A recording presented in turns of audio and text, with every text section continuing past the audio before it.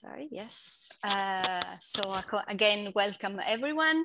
Um, so uh, for those who don't know me, I'm uh, Renata Mirulla. I facilitate the EvalForward Community of Practice, which is organizing this webinar today uh, in collaboration with EvalIndigenous, which is uh, one of the sister networks of the EvalPartners family. Uh, so um, this session is a part of the EvalForward Talk series, uh, which are informal webinars uh, aimed to share knowledge between members of the community and beyond anyone interested in the topic. Uh, but uh, uh, let me go to the agenda for today's uh, session. So we'll have um, a short introduction by Daniel Ticehurst, who he is the one who raised this discussion, this discussion topic on EvalForward. Uh, so he's a, um, he's a freelance consultant and he defines himself as a reluctant evaluator. Uh, his passion being more on monitoring with a focus on listening and learning from those who implement programs and uh, especially those who are the final beneficiaries or uh, communities uh, um, receiving or uh, part of the programs.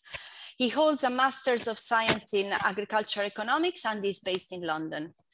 Then uh, after Daniel, we'll have John Njovu, and he's um, very happy to welcome John to this webinar. He also participated in the, in the discussion. He's a, a global uh, thought leader in evaluation uh, in indigenous voices and evaluation, indigenous evaluation and uh, um, he's based in Zambia and is an honorary member of the Zambia Monitoring and Evaluation Association. Uh, we are very pleased again to have John uh, here with us today. Uh, and uh, then we'll have uh, time for questions, answers, and for sharing your experiences.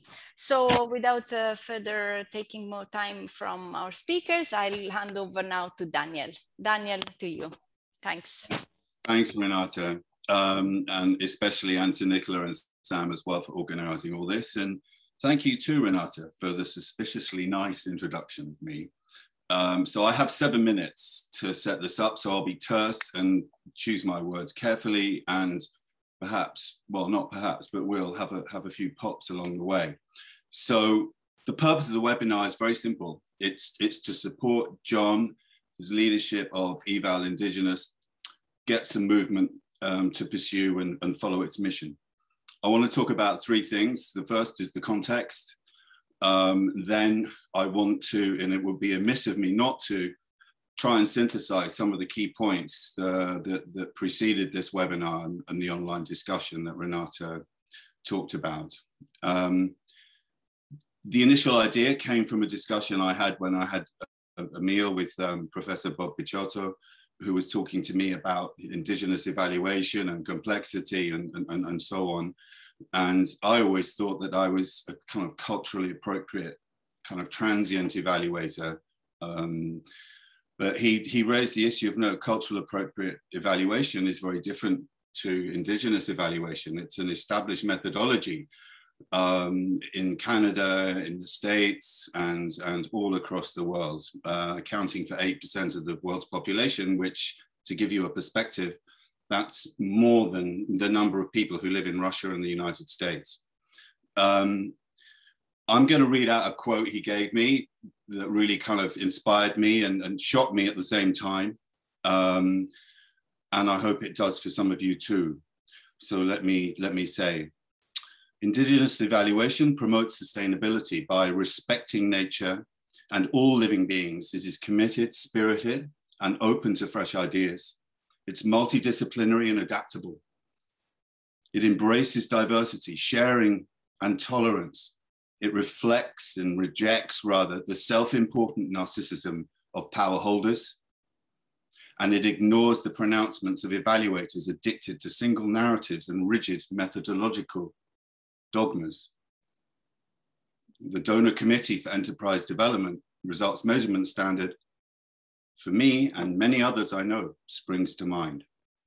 It's unlettered and Olympically bureaucratic and controlling. It works, Indigenous evaluation, effectively in a wide range of local contexts.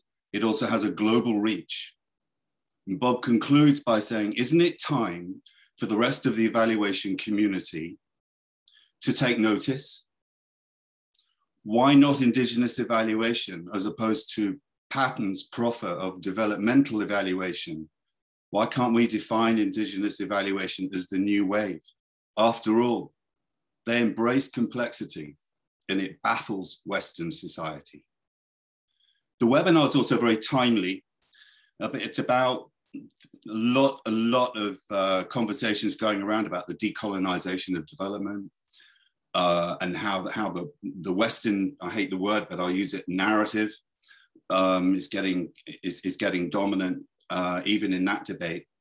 Um, there's a Nigerian professor from Ibadan who wrote a wonderful piece. His name is Ahok Hinaya. Don't cry for me, Africa. He's claiming, and this was in 2010, that African voices get crowded out by friends of Africa, Tony Blair, Commission for Africa, Obama's rather unremarkable Feed the Future program, um, and Western evaluators too. I don't mean decolonization in a Frantz Fanon way of destruction, but I do mean it in a way that I learned because my first job was as a cricketer, playing cricket for the same club as many West Indians. And I remember as a 13 being year old being enthralled by the West Indies team who came to the UK, who galvanized the Afro-Caribbean communities in Birmingham, in London, and elsewhere. Uh, there's a wonderful documentary called Fire from Babylon. And I learned much of my cricket, not from my culture in England, but from the culture in the West Indies. So I was privileged to go there and play the other issue around evaluation, it's become a victim of bureaucratic and political capture. Raimondo and Dahler-Larsen's expose in their keynote address at the European Evaluation Society conference in, in Copenhagen earlier this year, and the predominance of mindless evaluation machines that are accountable to those who commission and pay for them and are limited to the pursuit of accountability to those who design and approve programs. They afford privilege to their administrative requirements and corporate objectives by playing around with how those align with SDGs. No, this is not good enough. They afford that privilege. It reminds me of an old saying from 1903 made by the famous sociologist um, Haussmann, where he, and for the purpose of this introduction, basically kind of says that evaluation, evaluation is used rather like a drunk woman or man uses a lamppost for support, not enlightenment. I want to now get on to the second part of the introduction, which is around some of the issues that, that were raised in the discuss online discussion that I thought were particularly revealing. I'm not picking out single ones because I think they're the best, but I'm picking them out because they relate very much as powerful messages that I wanted to share, as they say in some communities, with you all. Mustafa Malki basically started off by saying, well, by the time evaluation comes, it's too late. The damage is done. It's, it's too late to undo that. How can evaluation do that? Um, it met, sprang to mind issues that Patton's proposition of developmental evaluation makes, which, well, you can actually bring it forward into ex ante evaluation. That's also a type of evaluation. And I think that it, it's, it's time to actually integrate indigenous evaluation into the appraisal and the basis on which investment decisions are made by the funder. Um, so I thought that was a, a, a good point raised by, by Mustafa.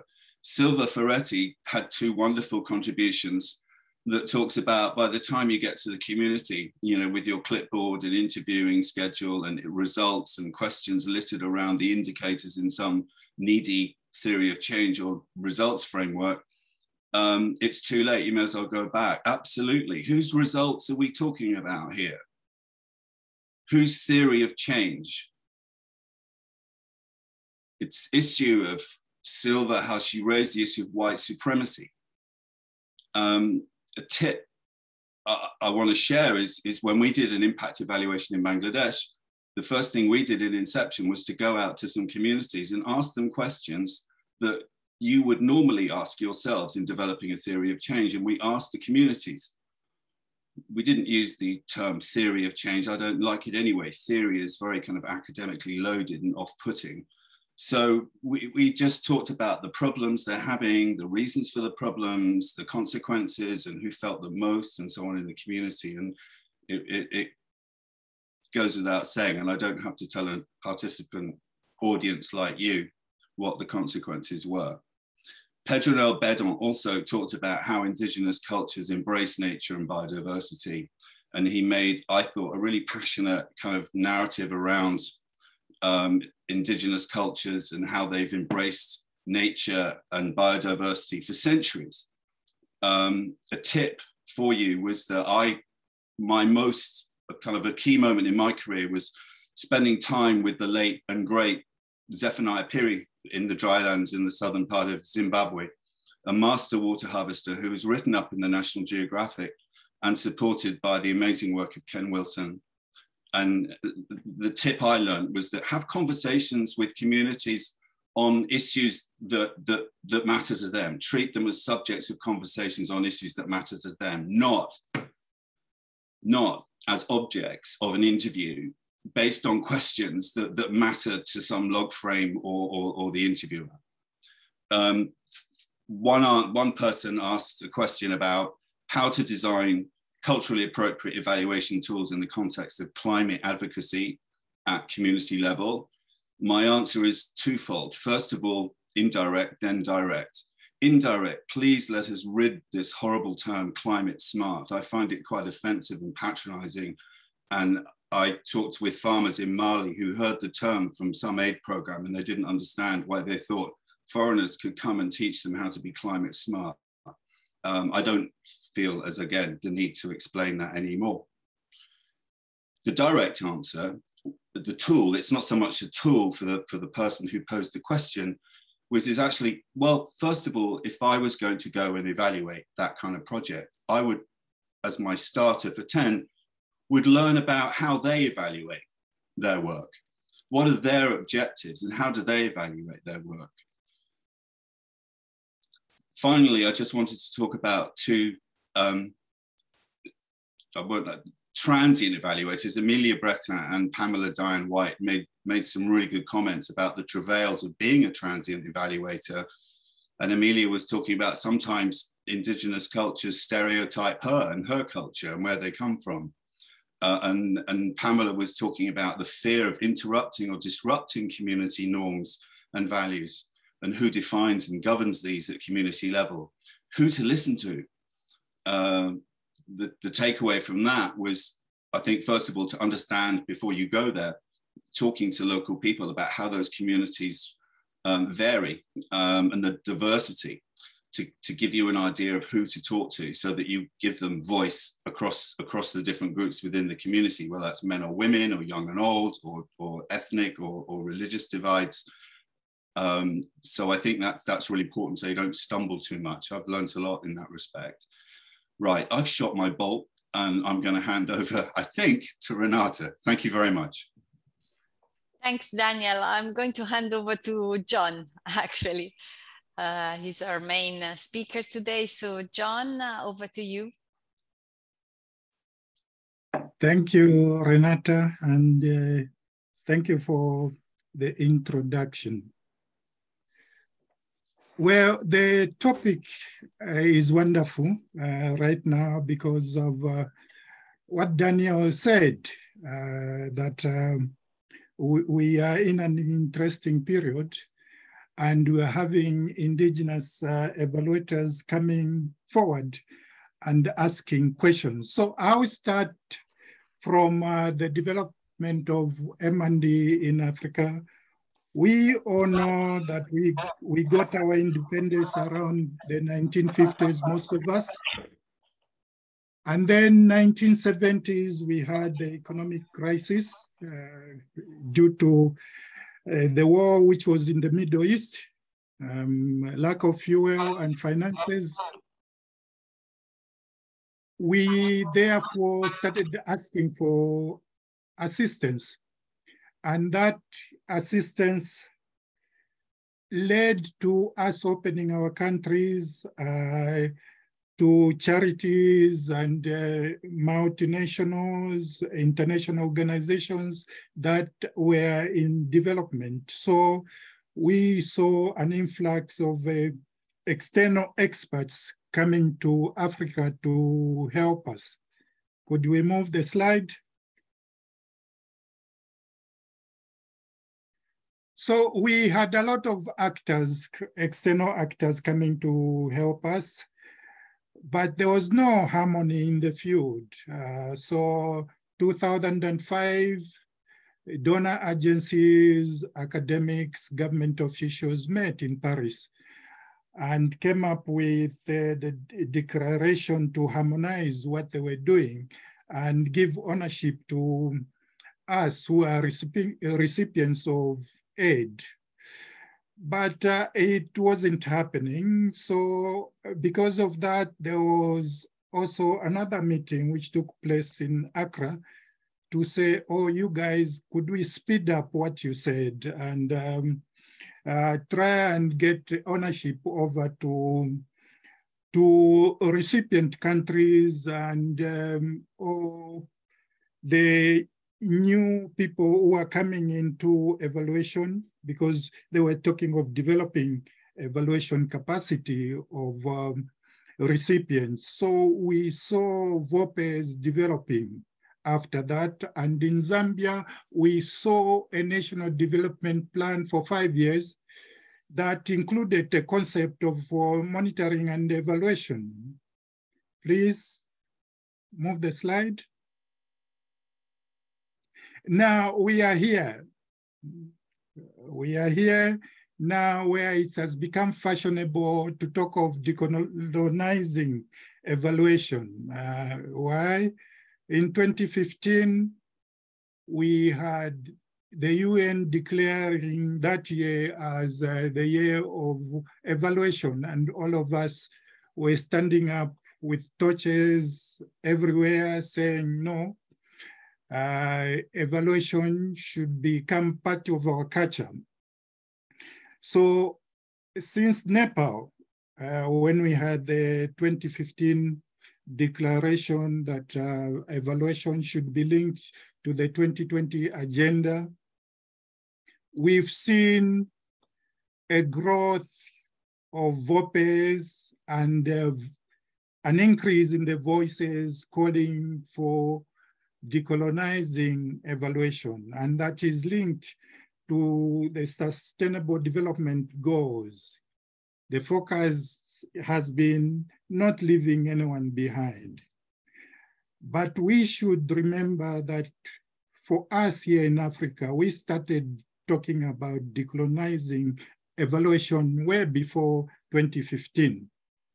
By 2012, we had what was termed as Made in Africa evaluation. We already were talking about that. And also remember that our, some of our prominent African people were engaged in setting up some of uh, these international VOPEs that are controlling much of uh, the evaluation activities around the world. We should remember our late uh, Dr. Saleh Gariba, getting involved in the formation of IDEAS, the International Development Evaluation Association. So it's not a new concept to us. What has happened, uh, could you move, Renata? What has happened is now uh, we have the bottom, the masses as we call them, or people like to call them, asking for more in terms of accountability and transparency.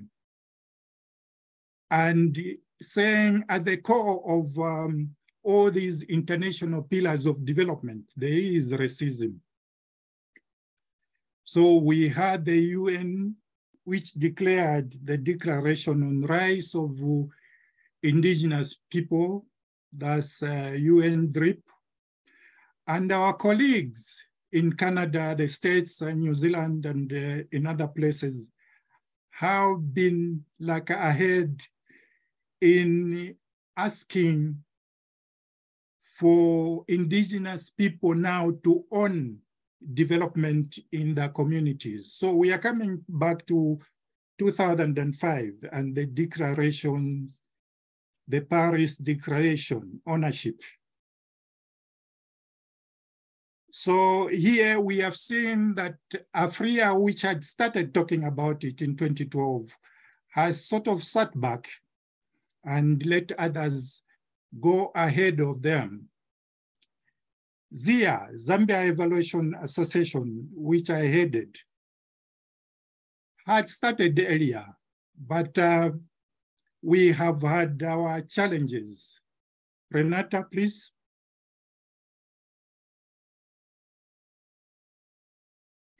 We have had our challenges. So during the declaration of the UN Year of Evaluation, people who met in Nepal, in a parliament, started talking of joining forces, indigenous voices in evaluation, joining forces, that we have been talking of national evaluation capacity for years. And for Zambia, 58 years, we're still, still talking about developing national evaluation capacity. What has happened? What is the reason why we haven't been moving? SAMEA is there in South Africa.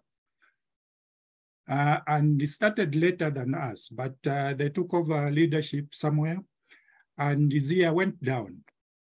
AfrEA, AfrEA, because of the way it was set up, it didn't have the organizational strength because at that time, well, it was fashionable to have things happening in Africa. Kofi Annan was the Secretary General and it was fashionable to link development, any development in indigenous communities to Accra. So we ended up with AfrEA in Accra. EvalIndigenous was formally established in Bishkek in 2017 during the third Global Evaluation Forum. It is a network of partners from a lot of VOPEs in uh, Canada, America, Africa, Asia, and the Pacifics we started talking of uh, having our voices heard. We have been followers for a long time. And like Daniel said, we've had a lot of transient evaluators who have no link to our lands. First of all, the prime thing is the link to the land. And if we have been talking of national evaluation capacity, why has it failed? It's because of what has been happening. Yes, we have people of color that have been heading some of these international institutions in evaluation. We have people sitting at high tables, but that has been on individual individual levels. So they've got good CVs and the, our young emerging evaluators get plucked from our continent, from our poor communities, and they work in uh, these good communities, go to good neighborhoods, and they forget about us.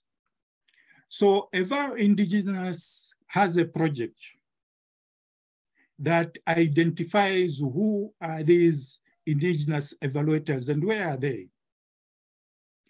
And tries to ask whoever who is going into these communities, commissioners, to link up with these evaluators. Yes, uh, you may say, no, um, I'm culturally sensitive or responsive, and I know what to do.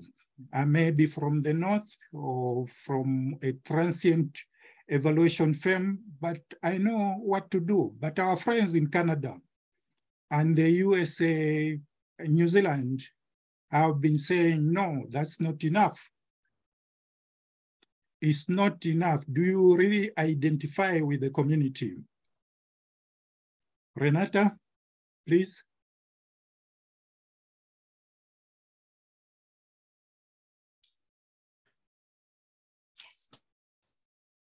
I've already talked of Made in Africa evaluation. So we have seen that uh, we want to move from just talking to making it happen. We are not going into communities and looking at them as objects, as just informants.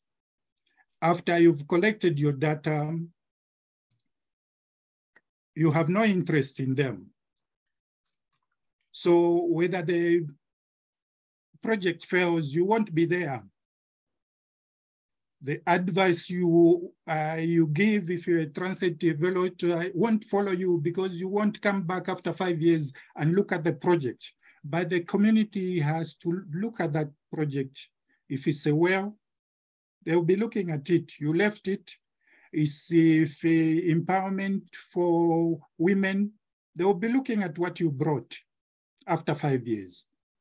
So there is a need of saying, yes, uh, by definition, cultural responsive involves you being sensitive or putting at the center the culture, tradition, and uh, cultural context of the communities where you are working in. But we are going beyond that and calling for cultural responsive indigenous evaluations that involves the communities themselves who are in the places where you are putting up your projects, your programs. So we are having that difference. Yes, you have your checklist and you, you can come in and uh, tick, tick, tick, tick, greet the, the chief, uh, talk nicely, dress in nice chitenges like mine, but it's going beyond that. As indigenous evaluators, we are asking, are you giving capacity? Are you empowering that community to take over? That's why we've come up with those 10 questions that communities have to ask evaluators when go, they go in. So as an evaluation community, are we ready to accept that we have made mistakes and we have come to this brink of catastrophe because of our compliance? And because of the way us, the assimilados, as people who are representing the indigenous communities, the people of color, the blacks, have been performing in the past. We have sat at the high tables, shaken hands with the queen and kings, and showed our backside as black peacocks to others who are left behind, that we are there in our selfies, that we sit at the tables. But what have we done for our communities? We sit there yes, you can be a board member of a big organization, but as long as it remains on individual benefits and you're not looking back, then you haven't been of aid to your community. So let's get to be talking. Let's get our governments to invest in collecting our indigenous knowledge and our academia to package, package it in such a way that we are able to get people from the global north that are in power, including our brothers and sisters who are now up there, to be able to defend what we're doing. That is slacker, it's good to think of our indigenous knowledge and that when you're using our indigenous knowledge, it didn't bring us to the age of uh, catastrophe that the humanity is facing. So we have to go back. We have our philosophies, the Ubuntu philosophy. You exist because I exist. we take care of each other, we take care of nature. It's not a, a matter of, yes, I've, I'm now on top, I'm the head, and I live uh, on top of uh, a hundred story building. No, no, no, no, no, no. Those people we are leaving behind, they will come and pull you down. We saw what happened in Sri Lanka. We saw what happened in Sri Lanka. We've got uh, uh, a lot of examples of traditional governance evaluations. Uh, take, for instance, up north here in Zambia, they are the Wile people who have a governance system, an evaluation system, where there is a group of entertainers. They go into the village, they gather the stories, come back to the chief and perform a play or a song to tell him how the village is and what can be done. And if it's a challenge to the people, they have the warrant to insult the chief. It's not like now where I, in modern governance, if I'm critical of the current ruling government, I'll be locked up. So we have to try and go back to our traditional methods. Uh, let's support our VOPEs. Let's support our indigenous evaluators in the communities. And when you talk of national evaluation capacity building, let's include indigenous evaluation knowledge. Renata?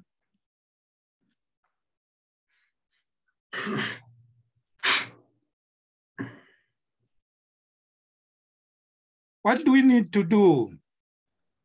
Of course, uh, we all know that we've got uh, the Paris Declaration, and most people have forgotten about it, but we need to go back to it. We need to go back to it. We've got declarations in almost all the big VOPE.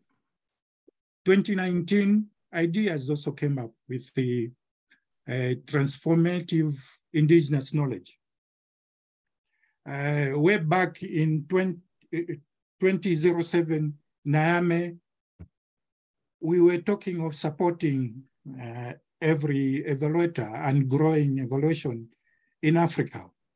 So we've, we've got this knowledge, academia, there are a lot of papers here in Africa and outside, but we have to move. Where is the entry point? Of course, we've got AfrEA itself. We've got the American Evaluation Association. We've got APIA, uh, Asia Pacific, uh, the Canadian Evaluation Society, about Indigenous Ideas.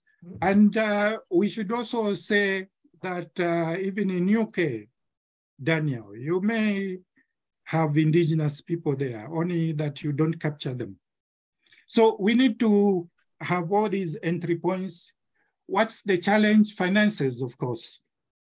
Finances, it's because uh, we have all these players in Africa, CLEAR-AA, uh, others who are getting the funding which should be going to indigenous VOPEs and people in the communities. So it's becoming now on a personal level. Can you move away from the old thinking and thinking of how do I help? So volunteer at the universities, in the community-based organization, CBO, we have what is called scorecarding. The reason why we are having so many failures in, in our governance structure is because we have concentrated on empowering the capacity on the top level, officers in government, and a few students, but left out the people, the majority of people. But we are talking that that is not leading us anywhere because we, we, we have an example from South Africa where we were saying, oh, we've got a champion of evaluation and all that, but look at the national capture, which was there. You left out the people. Now it's the time to look at reversing that, have a bottom-up approach. And I hope uh, our donors are listening. That's what EvalIndigenous is doing, is going into communities, gathering the stories and sharing from Canada, USA, Zambia, Cameroon, New Zealand, Australia, we are sharing the stories. That is enough. Uh, there is nobody who is going to come out, come from somewhere and change the way things are done unless we ourselves, BIPOC, Black, Indigenous, people of color, take charge. And that is going to happen if our current generation of youngsters come aboard, the emerging evaluators. They have seen what we have done as Black pe peacocks. We have sat on these boards, but we haven't taken the community with us. So let's move, get the young people uh, aboard and think of seven generations ahead, that whatever we are doing today will be of use to the next seven generations. Renata? Thanks so much, John. Thanks so much for such an inspiring uh, presentation. I want to thank also Nicola because she was there behind the slides. Nicola has to leave us now. So uh, thanks, Nicola, for your support. Uh, we had a poll just like to break the ice of this, um, uh, let's, let's say this part of the webinar where we can uh, discuss, share questions with uh, John and Daniel or share your experience. So I'll just uh, propose this um, this poll and ask you uh, what's the most important challenge for evaluation as a dis discipline to embrace cultural diversity and benefit indigenous communities. If you could choose one, or let's see what comes out from uh, our audience uh, after listening to Daniel and uh, John. I'll give just a few more seconds and we'll see. See people still voting.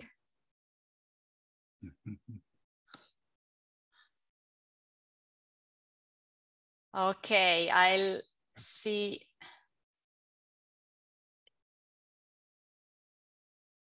Just a few seconds more. Okay. Okay, so let's see the results. Okay, all of the above. and the focus on donor results instead of uh, ultimate client. Let's say these two are the most. Most, yes. Yeah.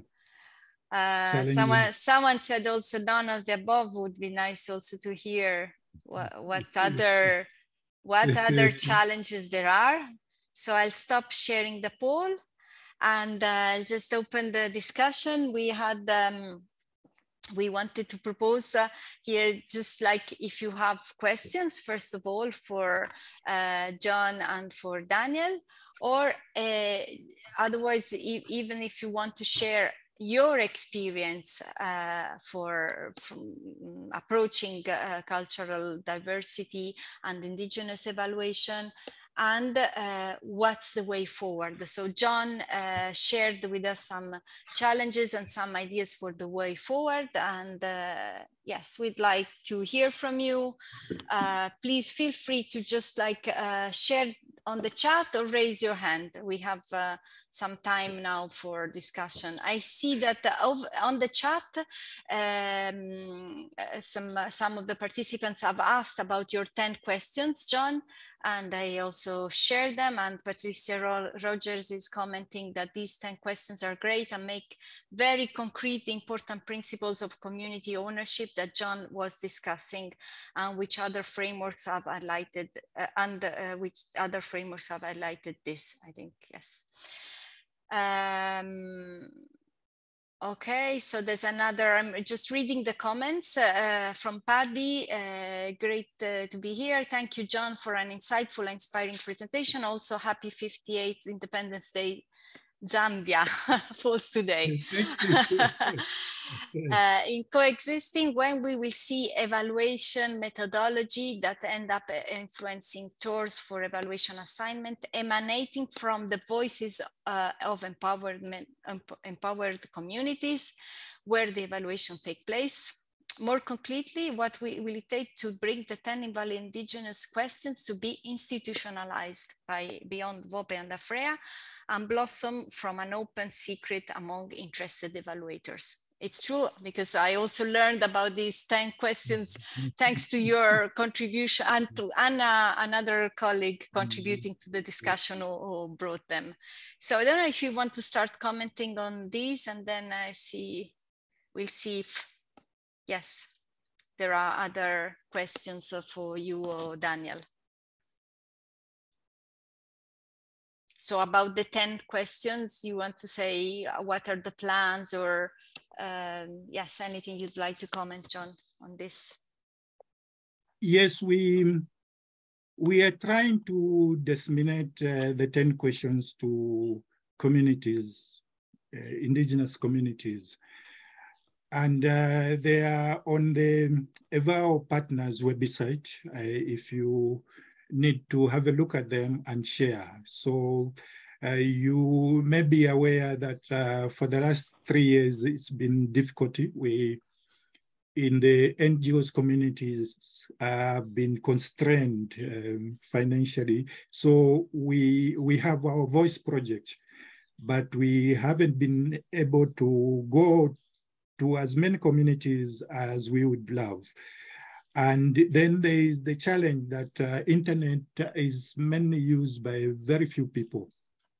Uh, so we would love to get to communities which may not have access to webinars like this one. Um, we, we are thinking of resource mobilization uh, to be able to get the questions across to as many communities as we can. And uh, if you are in the position to help disseminate them, please uh, feel free to come aboard.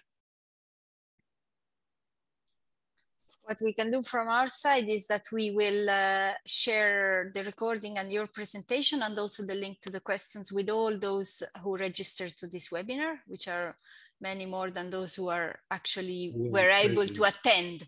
But yeah. uh, the signing up to a webinar is also a sign of interest, uh, of course. And then things happen in life and you cannot attend. We all know that. Yeah. Uh, I see. Uh, I see from uh, Tierno Diouf. Uh, I would be interested to know what is so far the contribution of, contribution of Made of Africa evaluation to the decolonization of evaluation. While even Africa has too many different cultures, are there any frameworks that can be used to make evaluations in Africa culture driven? To you, John. Well, um, Made in Africa evaluation, the slogan has been around for some time. Uh, and I believe it's now when um, institutions like AfrEA are getting to organize themselves and ensure that it gets taken aboard. Uh, Mark is around. Mark Abram is uh, around. Uh, they did a collection of papers on the Made in Africa evaluation. And I am hoping that now we will see more action My feeling is that um, the organization that uh, should be spearheading all this is that of Africa Unity. Is the the organization that uh, is like the United Nations uh, for Africa. Uh, but if they don't uh, invest in it, then we will have challenges. Uh, VOPEs alone cannot manage. So governments have to come aboard and uh, each government, if it can put aside some money in its national budget to help develop um, the indigenous evaluation capacity, that would be helpful. Thank you very much, John. I'll take another question from the chat and then I see Paddy also raised their hand. Uh, so Zuleka, uh, how uh, can emerging scholar uh, practitioners get, get involved more? What roles can Africa diaspora, other people of color communities play in this work? So if you could uh, uh, briefly answer so to Zuleka, John, and then we can ask Paddy. We, we have institutions of learning across Africa. Uh, they could learn from what is happening in Canada and the USA uh, because they've uh, moved this uh, uh, tribal critical theory uh, more. And even the indigenous aspect in evaluation, they are voicing that. And they have the advantage in that in the communities, they have these centers of learning, which protect the indigenous knowledge. And they are able, uh, with maybe one voice, advocate for that. Um, even our friends in New Zealand, uh, they can fight uh, that uh, no non uh, indigenous people shouldn't go into indigenous communities and carry out evaluation evaluations. Uh, transient evaluators uh, have been for a long time doing that, but uh, the world is changing. The call is to pass on. Um, is it the stick? We, we know that um, that road which you carry is having some Greco-Romanic or Druids uh, connection. And when you come into Africa, you try to use that road, it won't perform the magic because the African trees don't recognize that tree. So uh, this is what's happening. Indigenous voices are calling that uh, uh there should be that change. Uh, the world organizations should accept it. It's not just being politically correct or just fashionable, calling for decolonialization, but you still have control. Uh, uh, that's what is happening. Yeah. Thanks. I'll uh, invite Paddy, uh, who raised her hand, to intervene. Paddy, you're still there? Yes. Uh, hello, John. Uh, uh, hello. thank you. Hello, happy Independence Day. I'm I'm sitting very far away from Zambia today, but uh, the WhatsApp chats of the colorful. Exactly. So I, I think um, it's it's also a good it's it's it's it's a good topic for for uh, for a day for a day. day. yes, exactly. A very good topic for Independence yeah. Day. Uh, mm-hmm. uh, but also, I think a reminder of the very important work that's sitting on hand. And I just wanted to actually point out a question that Afnoa has already raised. Um, and to bring in, I think Zuleika's last question, I don't know, John, if you saw it, was about the role of the African diaspora, uh, that we mm-hmm. often kind of, mm-hmm. um, you know, I myself being in the diaspora and and sort of sometimes feeling very lost about how you contribute, maybe overwhelmed, I think first, uh, because you're mm-hmm. not expected to be a center of knowledge, right? Um, you're expected to be you're not really expected to be a generator of knowledge as well uh, on either side. So you know playing uh, mm-hmm. being in, in this very fragile position but also quite a very rich resource i have to say for either side of the table. And either side of the table here i'm talking about the commissioners of evaluation. So we know that governments um, like you have eloquently explained it have sort of moved from this mode of operation operationalizing the mdgs sdgs for us to for for for governments sort of almost being moved to a point of you need to evaluate for you to justify more assistance.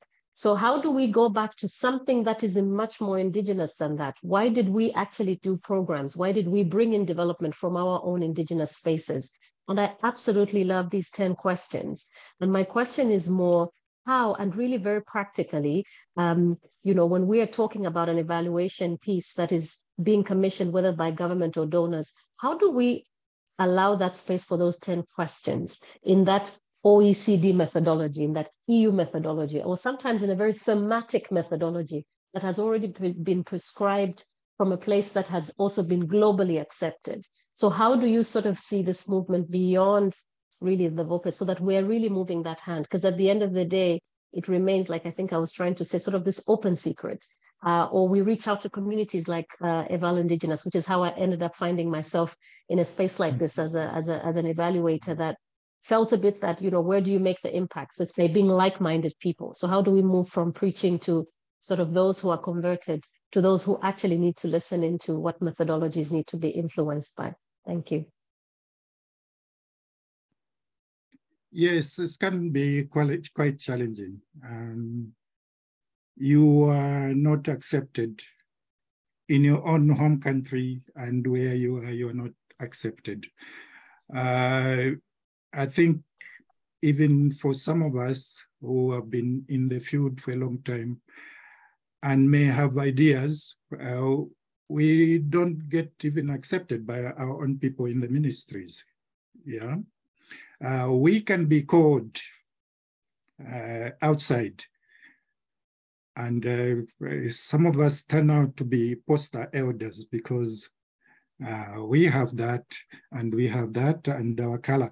So we look nice on posters that we, we, we were some of the people who, who did this and that. And uh, it's becoming challenging. The reason is that we, we've given away our space and maybe it's for monetary terms. Um, I see professors here who get aboard the team and we will be given what is likely to be a stipend or the amount that can be given to an intern and they will accept it. So we don't value ourselves. We don't value our knowledge. So it has been happening here. Um, I get colleagues who call me and say, I'm, I'm coming, I'm flying in uh, I'm coming as part of the team to do this and that. I like the color in the team. And what is happening is now there is a gender part of it. If you go around Lusaka, most of the NGOs that you may go in, you find that the head is a woman. Go to a bank, it's a multinational bank, the head is a woman because it's become fashionable to do that. So how do we get you people outside uh, to help us? It may be on a personal level. It may need you walking over to a Canadian office and talking it over. Uh, 2019, I'm calling on IDEAS. IDEAS is supposed to spearhead most of these, um, these developments. And we've got people of color as president and vice president, but it's not happening. So we need to ask ourselves, IOC, we've had uh, people of color in there. We have uh, the UN, we have USAID. That is a Zambian woman in charge. So why is it's not happening? Because of the systems. It's not easy to break what has been there for a long time. One individual can't do it. So uh, when we have like a EvalIndigenous, please come aboard. Yeah. You, you are near there, you let us know what's happening and may be able to voice out uh, the challenges that we are talking about. So that's one way uh, you can get your voice heard. And by on an individual level, you can get things done which I might not be able to do. Sometimes I get attention because somebody somewhere in New York or London has said there is John Njovu there in Lusaka. Why are you approaching us? So it happens. I went to UK at one time because I was um, invited by the Foreign Office. And when I came back, I went to a friend of mine who was in the government. I said, okay, this is what we were discussing. Can we do the same here in Zambia? And he looked at me, um, I'll get back to you. And he never got back to me. Why? I didn't have the money. So we have climate change and everybody, the NGOs now are so many, hmm? like the days of HIV and AIDS, because it has become fashionable and that's where the money is. But like I said, we are looking at the new generations and seven generations from now. So you may be comfortable uh, with your job and your position, but we are seeing a change. I'm seeing young people coming in into Zambia saying, could we do this? Okay, I'm going back, but I feel that as Zambians, we should do this and that. So we are getting voices from young people, not the older people. Um, they will say, oh, what is in it for me? So we need to change that.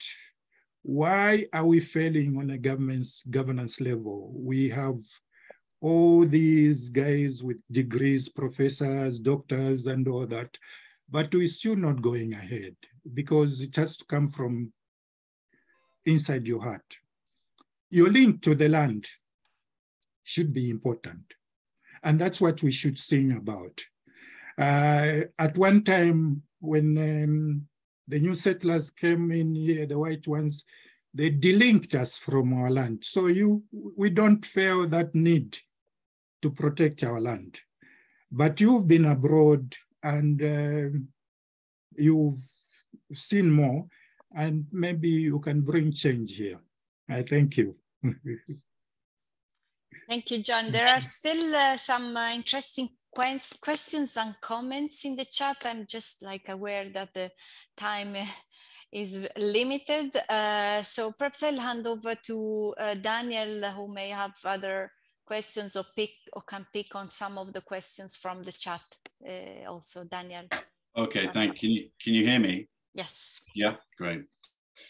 Um, yeah, quickly, I, I was I, I saw the 10 questions and I thought they were great as well. And I was kind of thinking to myself, how would you use them, when and, and who? Yes, communities use them, so they should. But as many have said, it's too late. By the time you get there, by the time you get to the community and you ask those questions, John, you could be basically very embarrassed. Um, so I, I would say that the commissioners of evaluations or even the people who design the intervention or the project should use these questions actually and and and make sure that they they they adequately kind of participate with communities in designing not just the evaluation but but the whole thing actually and and i think now there's a good time people are beginning to realize that the more complex world we live in and, and the more that reveals itself, Stephen Hawking said, you know, this is the century of complexity, is, is, is around how we should lighten up on the appraisal and design. Don't make it so heavy. We seem to equate complexity with sophistication. I mean that in a technocratic sense, um, and therefore disparagingly. um, but I, I, and to answer your question on the UK Evaluation Society, uh, I don't know. I'm I'm not really into evaluation. I do it occasionally, but I would have thought that if you look at the UK Evaluation Society, John, look at their council of 12 members. It would be interesting to have a look at it now, since it started in '94, to actually kind of how many people of color are on that council, how many presentations have been made by Indigenous people. I don't mean people like me, but kind of ethnic minorities, people of color in the UK I still take offense at being called a Caucasian, by the way, because I'm not from the Caucasus Mountains in Russia. So I don't understand why people call me that. But I, I do I do think seriously that, that that would be quite interesting. And I don't it's not rhetorical. I don't know.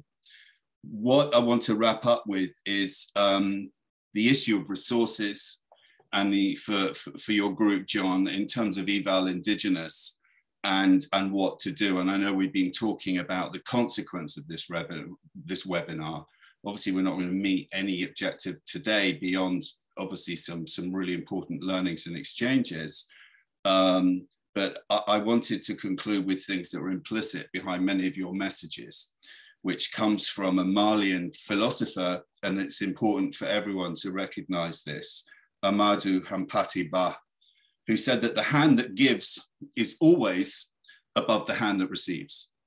So I think it's really important where we go for resources, where you go for resources and support to that, uh, and, and to make sure, because I think that's one of the issues that has stymied the African Evaluation Association. You, you, it's like I live in the UK, and, and if you go to the African Evaluation Group, if you go to the American, if you go to the European, you kind of get the same people turning up. You know, not saying the same thing. It, it's like English Premier League football managers. You know, one month they're managing this club, and then they're yeah, exactly. So we're kind of getting the same messages. And I think Indigenous evaluation needs to get a presence in those societies, including the UK. My cricket example was the culture came to me in the UK, the West Indian culture came to me in the UK. Why can't, why can't Indigenous evaluators go to the UK Evaluation Society and, and have a pitch as, as opposed to being a kind of an interesting kind of quaint kind of sideshow kind of thing as you were talking to me about. So front and center. So there's lots of ideas on on how to do it. It requires resources but resources not from the usual suspects. Um, but but from from we talked about it african philanthropists. Um, look at look at the alliance for the green revolution in africa. Who do you think funds that? Not an african penny. Its credentials are fantastic the peacocks all all people from in the staff, and there's some excellent people as well. But but it's telling. It's telling. Um, so yeah, I'm really excited and to support you in any way um, on this. So um, I I kind of finished what I had to say, wanted to say, and um, over to you, Renata. And thank you very much for everyone for participating. John, it was such an honor to have you front and center. And Thank yeah, you. Good, good morning, good afternoon, good night, but not quite yet. Thank you. Okay, thanks to both and thanks to all the audience. I'm sorry we could not address all the questions and the points, but there were some really interesting comments in the chat. So we will think about how we can continue this discussion because as uh, Daniel said, uh, not we wanted to bring forward the messages that John has uh, given us and that we all also believe in.